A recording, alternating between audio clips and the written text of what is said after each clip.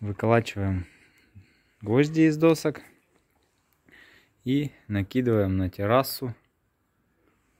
Проложили помимо уголков доски поперек, чтобы лага жестко держалась.